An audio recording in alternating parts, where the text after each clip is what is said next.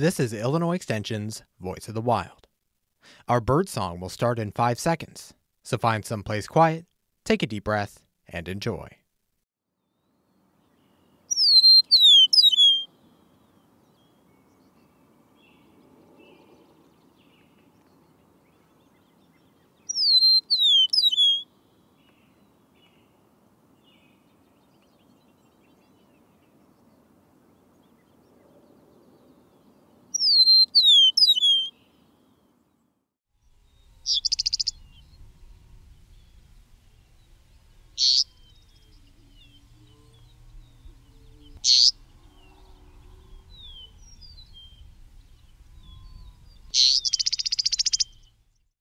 This yellow fronted bird with a black V on its chest often sings from fence posts and power lines. It's fairly common anywhere grasses have been spared regular mowing.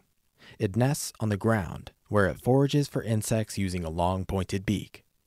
When startled from its prairie or pasture home, it flies away with rapid wing beats, then fans out its white edged tail to catch the wind as it glides to a stop. Its call is harsh and electric, but its song is sweet and smooth, the favorite of many farmers across the state.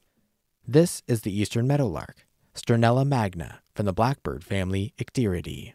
Here's the eastern meadowlark's whistling song again.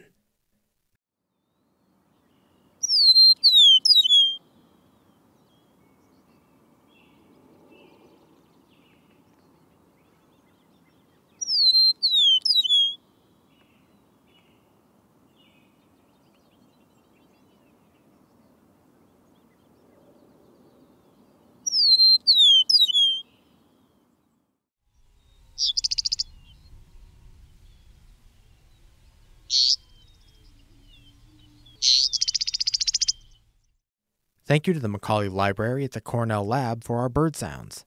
And thank you for tuning in to Illinois Extension's Voice of the Wild.